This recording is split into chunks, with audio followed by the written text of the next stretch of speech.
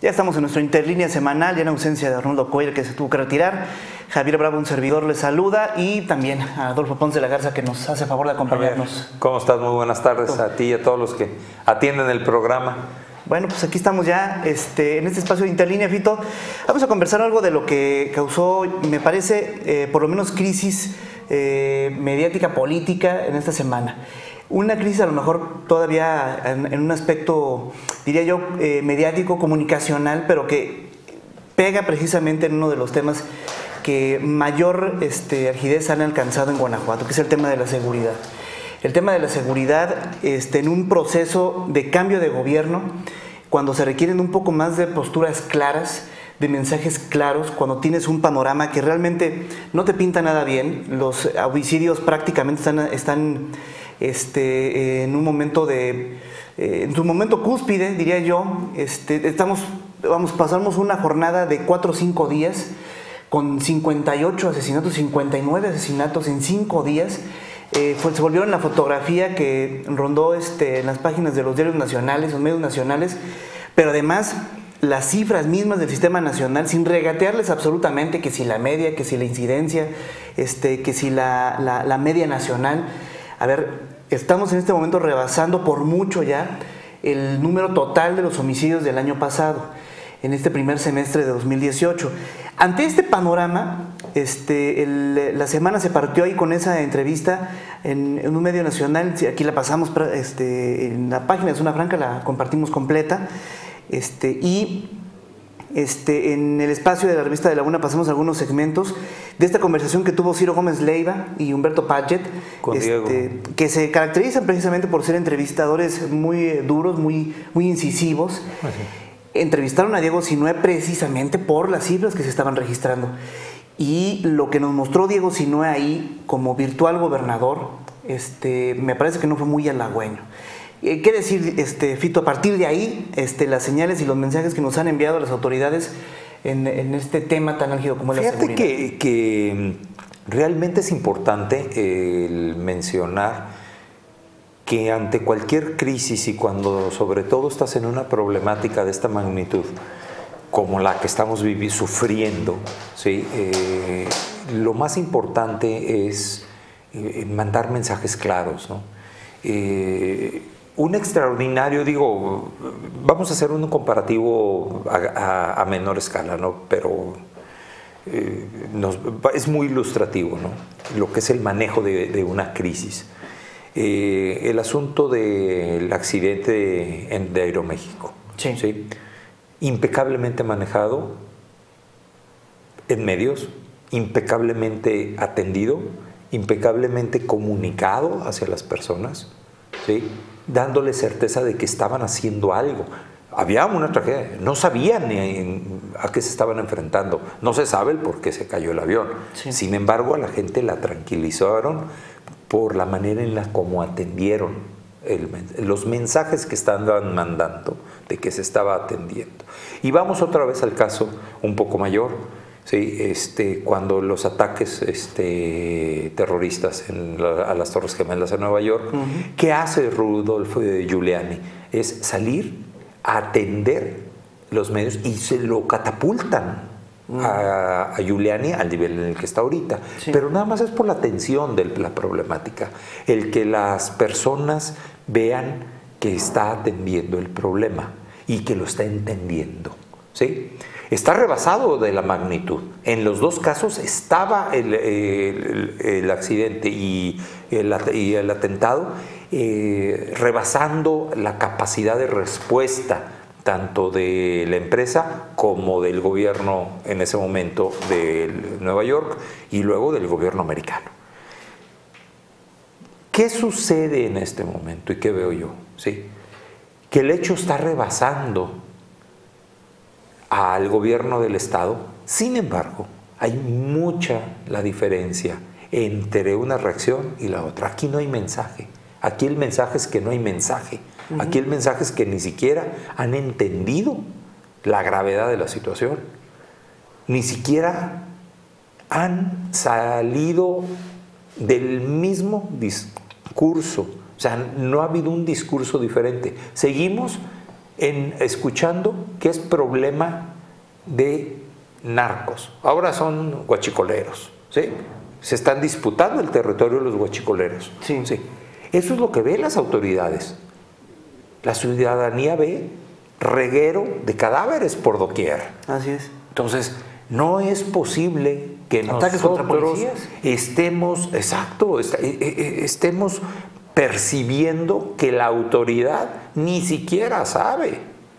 Ni le interesa. Entonces tenemos como ciudadanos una doble preocupación, la preocupación del hecho y la preocupación de que quien debe responder ni siquiera está a la altura y ni siquiera tiene la capacidad o la idea de qué va a estar haciendo o cómo va a hacerlo.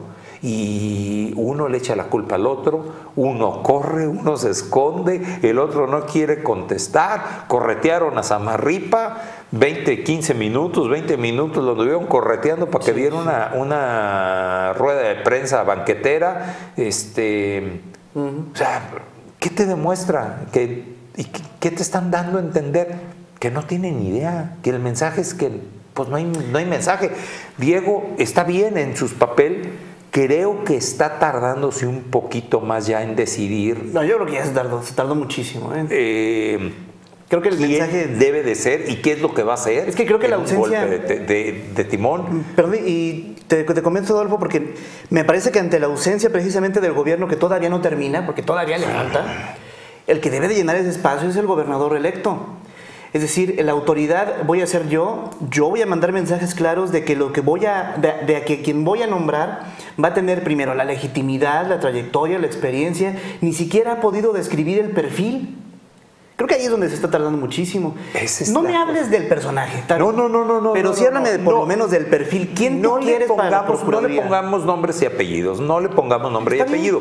¿Por qué? Pues porque en ese momento empiezan las confusiones y empiezan eh, a De acuerdo. Y se vuelve un problema político. y se, y se torna político. Sí. Ahora, aquí el problema es que lo político se tornó doblemente complicado. ¿Por qué? Porque ya nada más es el Estado. Ya la federación ya nos abandonó, ya nos ven como... Y ellos mismos se han aislado por el triunfo electoral a decir, es que nosotros somos distintos, somos los únicos. El bastión que queda, la de sobrevivencia. Entonces, ¿con qué cara vamos a poderle llegar a decir al nuevo secretario, que no lo sabemos quién va a ser, pero tenemos que acercarnos? Es que incluso, mira, en el ejemplo de la, de la federación, este, en el ejemplo de la federación, ves uno del Manuel López Obrador, que aún sin estar en funciones, está, se está moviendo, ya promueve a, algún, a Alfonso Durazo como secretario de Seguridad Pública. Ya lo dieron. Ya están dando una agenda incluso de foros de, de- de- de consulta, de foros de discusión con las víctimas, con las familias de las víctimas. Que para la paz y cosas de Bueno, ese tipo. sí. pero sea lo como sea, están llenando ese hueco que la federación está empezando a dejar. Es decir, Enrique Peña Nieto ya ni siquiera está activo en ese tema. No. Este, pero vamos a por, por lo pronto a Renato Sales anunciando hoy este, la detención de un, de un este, capo. Este, vamos, se mueven las cosas en, en- en diferentes niveles, pero se mueven. Hay pronunciamientos de un sentido en otro. En Guanajuato no hay ni No eso. está sucediendo, esa es la cosa, ¿no? Que no está actuando el gobierno actual. Sí, Miguel Márquez ya se quiere salir, o sea, ya quiere que esto termine. Está cerrando la cortina. Ya, adiós, sí, pero lo está cerrando desde antes. Y, y yo veo, percibo que Diego todavía no ha sido capaz de tomar ese mando, de decir, oye, es que la gran diferencia es que Diego ya es electo. Sí. Andrés Manuel no. Andrés Manuel ni siquiera es, es- falta la es- constancia. Ni siquiera es presidente electo. Entonces ya debe de estar actuando no nada más en el perfil, sino debe de estar dando los mensajes. ¿Por qué? Porque los actores políticos, como vimos la comida de ayer y como vemos este temas de, de declaraciones, empiezan a verse que están sobrepasando o carrereando o urgiendo al, al gobernador.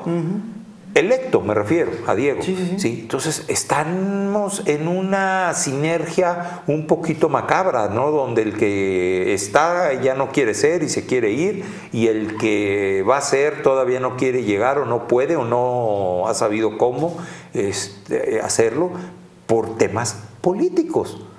Y la ciudadanía, nosotros sufriendo y viendo que nuestro Estado cada vez tiene un mayor desgaste en cuestión de inseguridad. Sí. yo te digo, el mensaje muy, muy contundente, te lo dicen abogados, te lo dicen criminólogos, lo, muy, lo más importante en este tipo de circunstancias es enviar mensajes concretos cuando haces una detención, cuando haces un decomiso, cuando haces un operativo es emitir un mensaje contundente de que de la fortaleza que tienen las corporaciones, de la fortaleza que tienen que tiene el Estado. Y decía yo algunas semanas, el último mensaje este, contundente, o que pretendió ser contundente, mejor dicho, este, fue aquel este, de Álvaro Cabeza de Vaca, tratando de apagar el conflicto que había internamente en las fuerzas de seguridad pública del Estado. Fíjate nada más este, lo, lo, terrible que hay detrás de todo esto. El último mensaje, y eso ya fue varios meses, ¿eh? fue hace varios meses cuando se emitió este mensaje y fue para tratar de calmar una, una, protesta dentro de tu propia corporación. No estás enviando, no estás este, emitiendo una rueda de prensa para hablar de las acciones que se están tomando este, eh, ante este hecatombe que ocurre con, con, la seguridad, con el pleito que hay entre, entre bandas de crimen organizado. Vamos, en, este, en esta corretiza que mencionas de Carlos Amarripa, este, el, el día de ayer, eh, ni siquiera se anima el propio procurador a hablarnos de manera tan clara y contundente como lo hizo este, el jefe de la zona militar cuando dice, señores, aquí lo que está ocurriendo es una disputa entre dos grandes cárteles este, por el robo de combustible y por la droga, el cártel Jalisco Nueva Generación y el cártel de Santa Rosa. Pero además se le agrega este, lo que ocurre con los este, pequeños cárteles, los pequeños grupos que hay en el corredor industrial ¿no? El caso aquí muy concreto de León, eh, células muy domésticas. A ver, estamos hablando, y esa es la parte delicada, estamos hablando de este, no varios, sino diversos grupos este, que están eh, vendiendo droga y que están robando combustible. Y después de lo, de lo, que menciona, él menciona muy claramente lo que es la parte sur del estado y el corredor industrial. Y como si fuera un vaticinio, Vito, como si fuera un vaticinio. Esa jornada de 59, 58 asesinatos en cinco días se da precisamente en esas zonas. y el Estado está completamente ausente. sí hay que diferenciar, ¿no? El ejército, gracias a Dios, tiene inteligencia. El ejército, gracias a Dios, tiene capacidad, es profesional. ¿sí? Este, a mí me dio mucho orgullo ver un, un video que sacó las Fuerzas Armadas este, el día de antier, si te diste cuenta, eh, donde después de un enfrentamiento todavía tienen eh, la honorabilidad para atender a, sus enemigos. ¿no? O sea, te demuestra y lo ves el nivel de profesionalismo que tiene el ejército. Por eso es demasiado el coraje que, te, que me da en lo personal y supongo que a muchas gentes también, cuando ves los videos de, de, las gentes cuando van a los guachicoleros y los andan apedreando, los andan correteando, les andan tirando palos y les ponchan las llantas y los otros no se pueden defender. ¿Por qué? Pues porque la Comisión Nacional de Derechos Humanos o veto a saber quién, cuántos más, se les van a dejar ir encima, ¿no? Por brutalidad y por una serie de cosas. Pero ellos sí saben que está, contra quién están peleando, saben qué está sucediendo. Lo que no se ve y no se percibe es que el Estado esté a la misma altura. Ese es el gran problema. En los grupos de, coordinación, no sé qué tanto sea ese grupo realmente de mm. coordinación. Ahora, acaba de haber un cambio por enésima vez del mando militar. ¿sí? Son muy rápidos. estrategia normalmente son de estrategia, como los, los delegados de la PGR, que los cambian cada 15 días. Sí, sí, sí. este, pero no se percibe que haya una cohesión, una coordinación entre el Estado y las fuerzas federales. Y el Estado se percibe que está rebasado y no ha salido a dar un mensaje concreto correcto para decirnos, señores, es tal la magnitud, le entendemos, pero es tal ¿sí?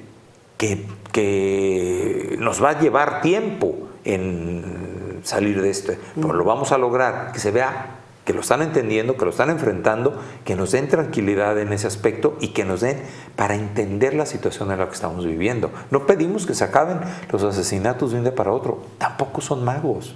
Lo que estamos pidiendo es un mensaje claro Eso es lo único que estamos pidiendo.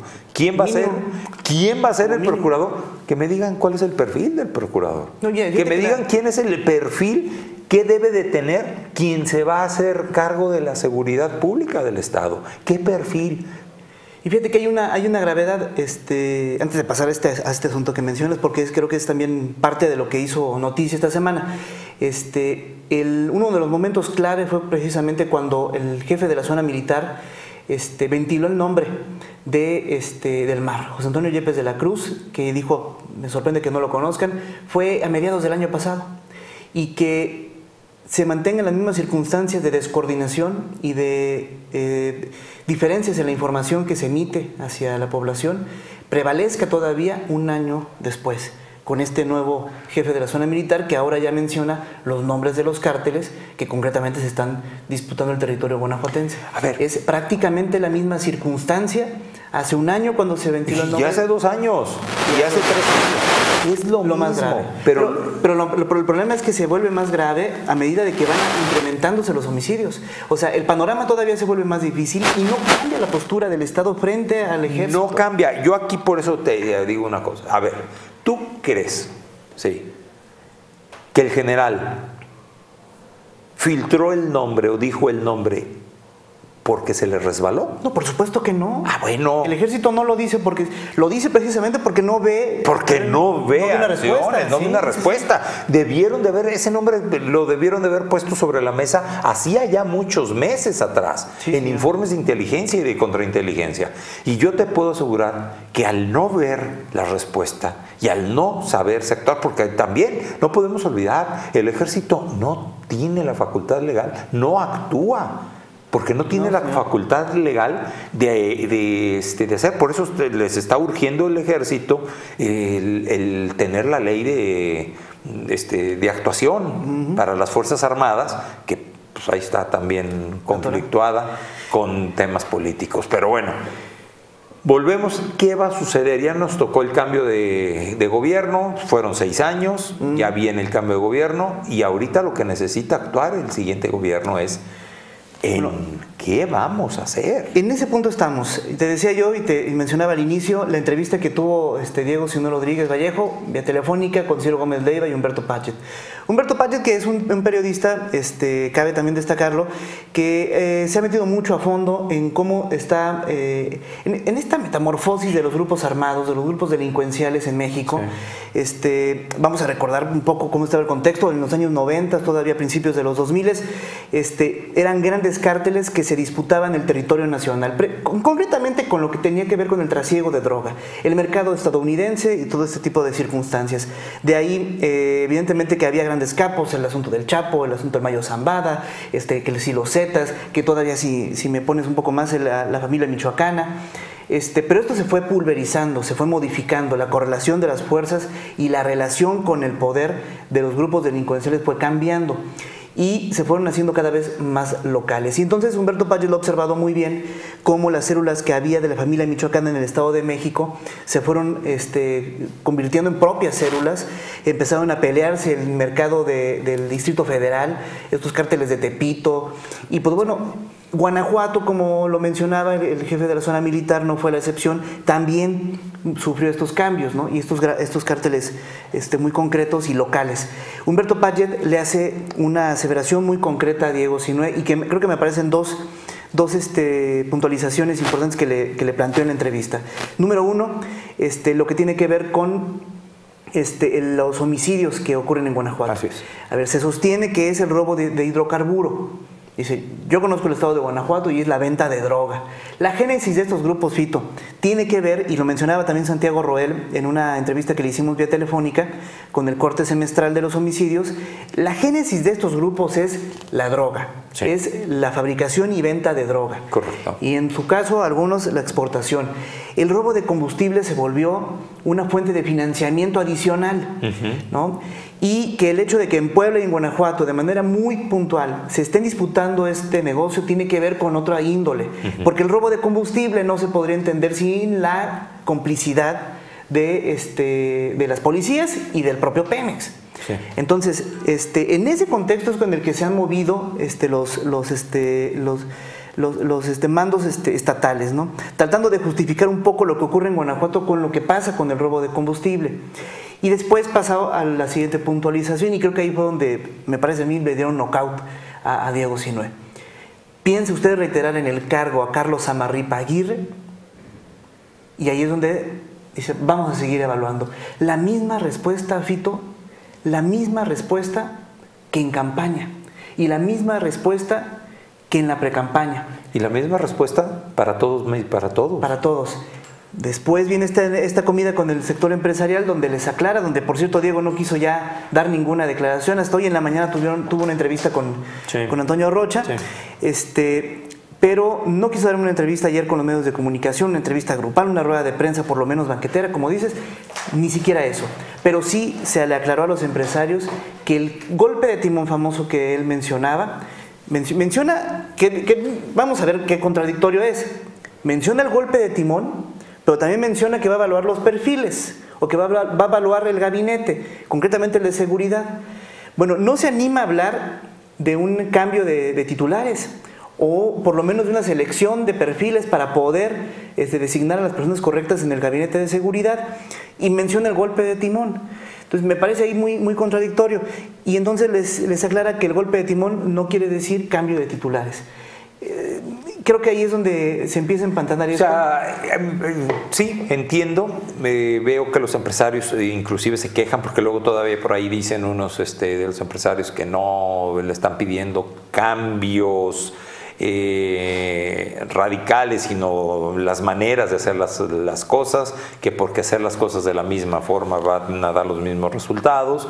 Entonces, eh, seguimos empantanados, eh, vuelvo a, lo mismo, el mensaje no es claro, no sabemos qué va a pasar, no sabemos a dónde vamos. Y ante la incertidumbre es peor. O sea, la crisis la tenemos, esa la vivimos, la sufrimos, la entendemos, pero el problema es que la incertidumbre no la entendemos. Y a ese es lo que nos está generando el la mayor desgaste político y el mayor problema. Eso es lo que le puede generar a Diego, si no es este su mayor dolor de cabeza. Y si por componenda, acuerdo político, logran no solo volver a ratificar a, Carlos Amarripa, sino nombrarlo el fiscal carnal por otros ocho años, pues yo no sé cómo le vaya a ir. Sí, no, menudo problema, digo, ya sería... ahí va a haber un problema muy serio. Sería un caso ya completamente típico, ya ni a nivel nacional, quizás a nivel internacional, un, solo, un mismo fiscal por, este, tantos años. 21 años. O sea... Es, este... mi Giuliani que tiene esas cartas credenciales. No, no, no, no, no. ¿No? Sí. El único que se me ocurre pues era Hoover en la FBI que duró... Pero en un esquema y un contexto completamente distinto. Sí, pero, pero nada más, o sea, se me ocurre. Y él hizo... Y Hoover es una cosa y Samarripa es otra, ¿no? bueno, pero bueno, eh, vuelvo. Eh, también algo que, no podemos eh, dejar de analizar es el cambio de la forma de la relación que va a tener Diego Sinue con la federación. va a ser importantísimo saber si no es el... Si no ratifica a, Carlos Amarripe es un mensaje hacia la federación. Si lo ratifica, es, es un mensaje muy contradictorio. ¿Por qué? Porque va a ser su punto débil, va a ser su punto crítico y la federación la va a utilizar en su contra. No olvidar ¿sí? que el plan estratégico de, la, de, de Morena es ganar la elección en seis años. ¿sí? Ahí podemos ver desde a Sheffield otra vez hasta al, que quieras, que salgan, que todavía no conozcamos. ¿sí? Pero este, van a ser incisivos en minar la administración de Diego. Diego tiene que ser muy inteligente para evitar tener tantos fierros en la lumbre. Bueno, se está viendo muy lento y eso es una, una evidencia. Este, Fito, yo creo que este, podemos seguirnos aquí horas y horas hablando de seguridad, porque es un tema que realmente no, no, no se le ve, no se le ve, pero no se le ve salida, no se le ve un punto eh, de inflexión concreto, ¿no? Y esa es la parte preocupante. Yo creo que vamos a seguir tocando el tema los siguientes viernes. Rápidamente antes de irnos, Fito, yo te invitaría a revisar rapidísimo lo que ocurre con Zapal. El caso de Pedro González es el primer sentenciado del sistema estatal anticorrupción. Esperamos una larga semana para que regresara de sus vacaciones para poder este, tener pues su postura, ¿no? ante esta, ante esta sentencia que le emitió el Tribunal de Justicia Administrativa. Este, en su sala anticorrupción, la sala que lleva Arturo Lara, revisaron el tema a petición de la Contraloría Municipal de, León, ya dentro del sistema, es parte del procedimiento que se tiene que realizar, y le remiten el caso al tribunal, el tribunal lo acepta de mil amores y hace el procedimiento como ya dictan los, los cánones. Un sistema estatal anticorrupción que este, costó trabajo conformarlo, costó trabajo armarlo, todavía tiene muchos, muchas áreas de oportunidad, este, un presupuesto todavía este, raquítico, ínfimo. Por ahí el Comité de Participación Ciudadana trabaja a marchas forzadas con lo que puede, con lo que tiene, este, todavía con ciertas limitaciones incluso en lo, en lo discursivo, ¿no? Para traer los temas, para tomarlos en sus manos, pero bueno, es parte del sistema y este, si acaso yo creo que el, el organismo dentro del sistema que tenía más pulidas sus funciones y muy concretas sus atribuciones era el Tribunal de Justicia Administrativa en su sala anticorrupción, porque conocían del tema, conocen el marco legal. ¿no? Los magistrados saben perfectamente qué es lo que, se tiene que, lo que tiene que proceder en estos casos y emiten esta sentencia de una suspensión de cinco meses por conflicto de intereses. Es decir, acreditan ellos el conflicto de intereses y es como emiten su sentencia. Y Pedro González regresa este, el el martes pasado ya al Consejo, a la sesión del, Pleno del Consejo de Zapal. Y este, en una circunstancia muy particular, Fito, creo que es la parte importante que hay que analizar. Este, eh, es finalmente Pedro González un representante empresarial dentro de un consejo, de un, de un organismo rector, este, eh, el Consejo Directivo de Zapal, que es la paramunicipal con mayor número de recursos, la más este, robusta en todo el estado, por cuestiones, si tú quieres, obvias, poblacionales e incluso este, de, recaudación este, monetaria. Bueno, eh, es él un representante empresarial dentro de este consejo y su primera reacción es rechazar tajantemente haber cometido siquiera un error administrativo. Va él a refutar este, o va a intentar defenderse por lo legal de esta sentencia. Este, y vemos un sector empresarial que no termina a lo mejor por entender, no sé si coincidas conmigo, por entender que cuando ellos toman una responsabilidad dentro de la cosa pública, dentro de un organismo público, inmediatamente tienen que ser sometidos a, estos organismos y estos mecanismos de control y de este, rendición de cuentas. Eh, me parece a mí que todavía no se termina de entender este, ese papel que asumen cuando van a tomar decisiones de interés público. Yo te eh, empezaré un poquito antes, ¿no? ¿Para qué fueron creados los consejos ciudadanos? Para controlar las decisiones. Para, para hacer... Un contrapeso ser el contrapeso, ser los garantes de que los dineros públicos y las acciones públicas ¿sí? tuviesen el mayor beneficio, no fuesen corruptos los burócratas, porque los acusaron los empresarios siempre de que los, los burócratas eran corruptos, aprovechaban la información, cuidaban sus intereses, generaban negocios ¿sí? particulares a costa de, y siempre fue la crítica. De ahí una solución fue, vamos a crear consejos ciudadanos, donde el más robusto, efectivamente, y que fue el primero, el de Zapal. ¿Qué me llama la atención? Que no estás acusando a un burócrata, estás acusando al presidente del consejo, estás acusando al director en otras acciones, donde exhibiste al director, ¿sí? Y donde se han exhibido muchas otras, este, como la directora que daba descuentos a todo mundo, bueno, no más de sus conocidos, no a todo mundo, porque pues no todos, tenía precisión, no, tenía, precisión, sí, pues claro, sí, donde te das cuenta y te exhiben que empresarios, miembros del consejo, eh, se benefician con contratos de abastecimiento de gasolina y se benefician con los ecos. O sea, están acusando una, no nada más al presidente, eh, a toda la administración del presidente. ¿sí? Ahora, no es casualidad. O sea, si llegó allá y actuó Contraloría, es porque lo dejaron actuar. Y si salió una público, es porque lo dejaron actuar. Y si ya no lo están apoyando es porque ya le quitaron el apoyo que tenía. ¿sí?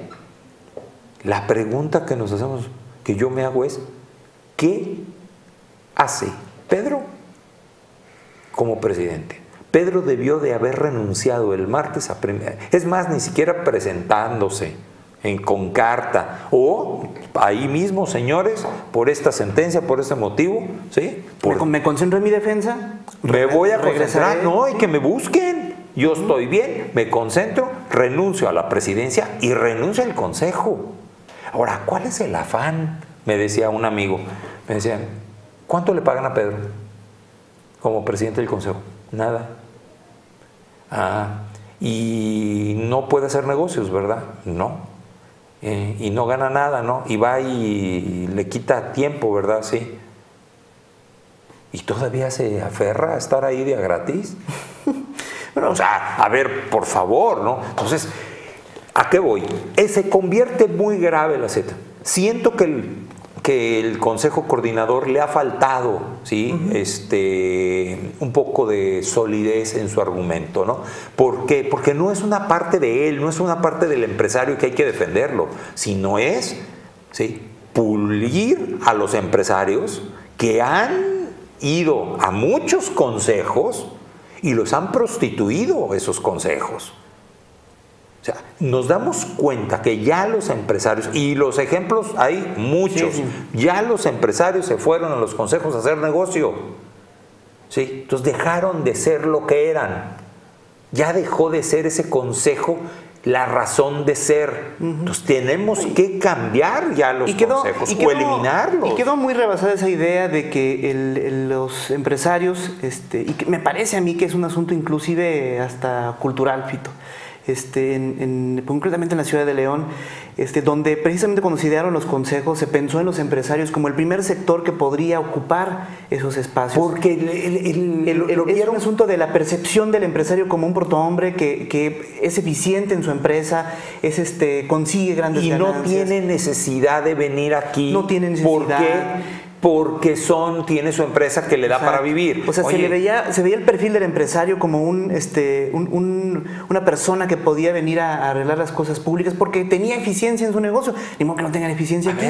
Eso quedó rebasado en hace ya buen tiempo. ¿eh? Ya pasó. Y me parece que fue eh, de manera muy paralela en este proceso que vivió el propio Partido Acción Nacional este, que se alimentó y que llegó al poder gracias a la participación de los empresarios. Correcto. este, y que precisamente tuvieron esta curva este, terrible cuando perdieron la alcaldía frente a Bárbara Botello. Fue todo ese proceso.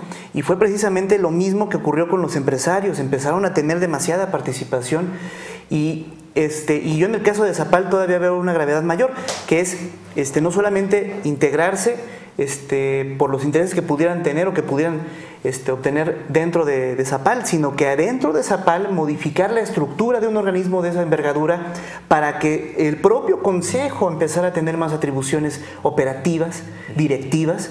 Me parece que ya fue este, ya cruzar la línea de lo que dicta la certidumbre de las decisiones públicas. Es que tú vas a a, supervisar como consejo, vas a ser garante de que las cosas se operen bien.